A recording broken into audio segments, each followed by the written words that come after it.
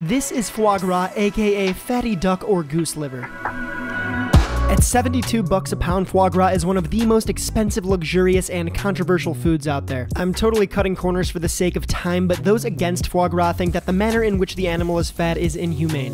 While those in favor of foie gras will tell you that the animal feels no pain during the feeding process and they're actually given great living conditions compared to, say, factory farmed animals. Regardless of where you stand, foie gras is a very old and very delicious French culinary tradition that isn't going anywhere. If you'd like to learn more about foie gras, I encourage you to research both sides of the argument and conjure up an informed opinion based on facts.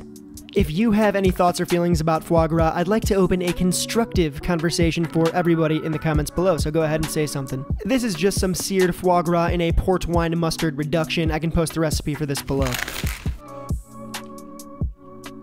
We motherfucking we.